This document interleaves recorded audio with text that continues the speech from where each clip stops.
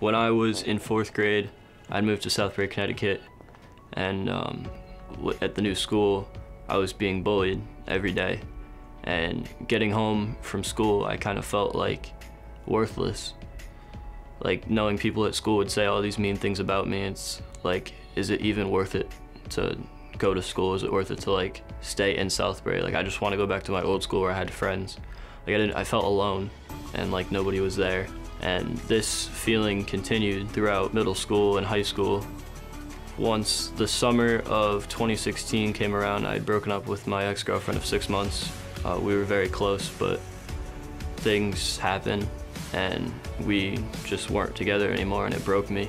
And a week later, I'd found out that she was dating my best friend, and that was the trigger for me. That night, I decided that I would kill myself, and I went into the woods and I tied a noose to a tree branch, and I tried hanging myself, but the branch had snapped.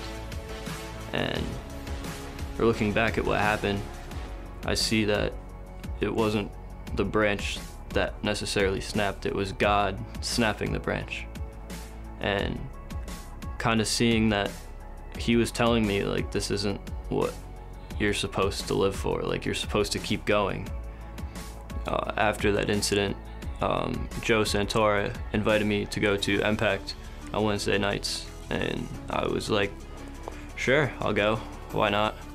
And that night, I kind of felt better. Like I felt something was different, but I couldn't really figure out what.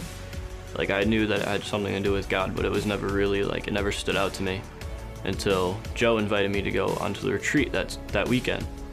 And on Saturday night of that weekend, um, I was called up to share my testimony, and I had a group of people, all my age, one older, one younger, at all prayed for prayed over me, and I just felt God's presence in me like I never had before, and I felt like invincible. I felt so powerful, and since then, everything has just changed completely.